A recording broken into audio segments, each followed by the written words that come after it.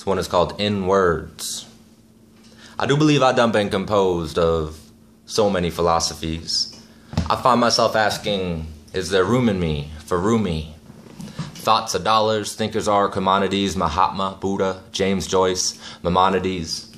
Knowledge is never free, and I've already spent a lot of these brain cells, but plasticity is telling me I got a lease on life. And when pain swells, epiphanies allow me to release my strife, my ecumenical thoughts. I wax poetic a lot. You put the fire to the stone, you get medicinal rocks. We blame the model and pardon the particle. We are, every one of us, fanatics for the phenomenological, stirred by the blind and reminded of the wealth in words, undefined in and of itself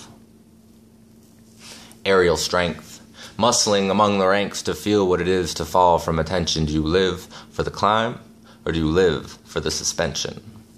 Rhythms in the silk, sticking with your ilk, sipping on the milk like Stan Kubrick, learning not to glance unless I can't stand to lose it. Ruminate on what we've shaken, what we hadn't planned or shook, well versed in Albertus Camus and Chuck Palahniuk no time for what's behind, like you can't stand to look. Well, I read it on the beach, so there's sand on the book. Understand that the man on the cover is a crook, but thievery isn't needed if you see that life is a gift. Then it's unbelievable that it took me this long to understand that love is a rift. Then we can't help but move on. I mean, we're all just adrift until we find something worth swimming for in somebody else. So I'm leaving. Fictions undisturbed are my wake on the shelf. I'm heading inwards undefined in and of itself.